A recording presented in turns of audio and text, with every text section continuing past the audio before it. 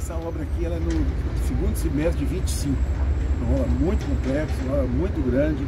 Ela envolve também a canalização do Corpo do Pampulha, que está descendo, combinado com o viaduto aí da Sebastião de Brito, que vai ser feita, que chama Praça das Águas, exatamente porque ela vai receber.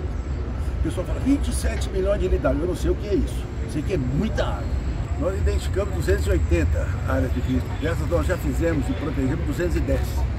Os 70 que nós estamos fazendo algumas e outras, lamentavelmente, não vai dar tempo.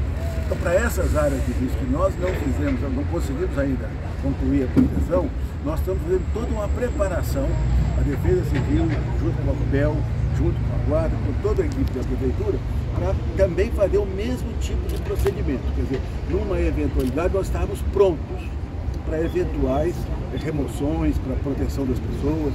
Nós estamos mobilizando as escolas locais para que, numa situação, você tenha como retirar essas pessoas rapidamente.